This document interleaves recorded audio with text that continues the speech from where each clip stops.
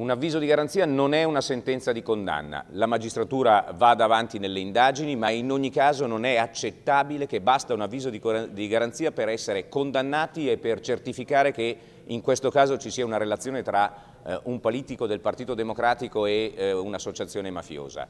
Siamo molto preoccupati di rigurgiti giustizialisti che ci sono nel Partito Democratico, eh, evitiamo eh, che tutto questo accada.